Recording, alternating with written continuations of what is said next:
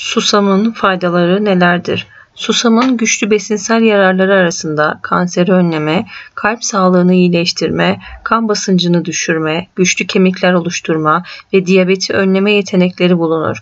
Ayrıca uyku bozukluklarını, sindirimi iyileştirmeye, iltihaplanmayı azaltmaya, solunum sağlığını arttırmaya, diş bakımı, depresyon ve kronik stresi ortadan kaldırmaya yardımcı olur. Şimdi susamın sağlık açısından yararlarına daha yakından bakalım. Susamın faydaları nelerdir? İşte bilinmesi gerekenler.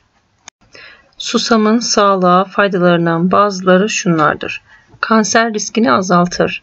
Saç sağlığını korur kalp sağlığını arttırır, kolesterolü düşürür, artriti giderir, kırışıklıkları önler, kemik sağlığını iyileştirir, solunum yolu hastalıklarını önler, karaciğer dostudur.